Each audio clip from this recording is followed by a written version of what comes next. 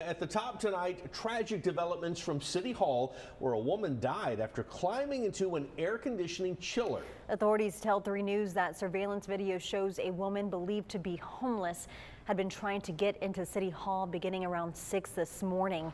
She was reportedly able to get into that secured area, climbing into the cooling unit where she fell. Our Michael Gibson is here tonight with details on how it all happened. Michael? City Manager Peter Zanoni says the woman actually snuck in behind a city work truck, which was entering that loading dock area through a secured gate there. The driver simply did not notice the woman, and just a few moments, she would be dead after climbing that chiller unit and falling into the mechanism.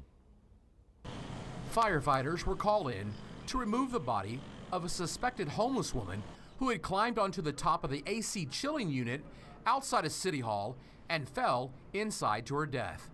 City Manager Peter Zanoni says the woman had been trying to get into City Hall since 6 a.m. Eventually, she snuck in behind a city truck driving into this secured loading dock and got to that chiller.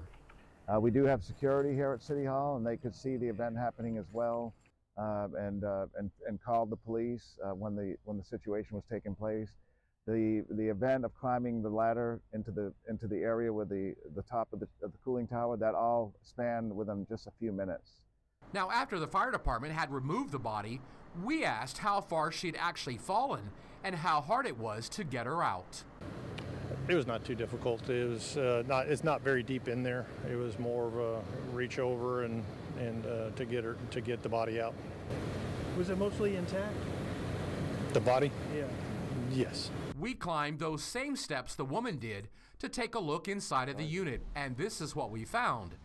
It's a very small enclosure, but with huge blades that were turning at a rapid speed when she ended up inside here. It has uh, two massive turbines with big, big blades that have high power velocity to spin to pre-cool the water. So it's quite possible the blades probably uh, were, the, uh, were the cause of death. The incident caused a total shutdown of the AC system, and City Hall employees were told they could work from home. But the city secretary and utility building offices remained open for business here on the first floor. Of course, Corpus Christi police were on the scene this morning and they told 3 News that, of course, there is no criminal investigation at this time over this incident. Mike Leslie.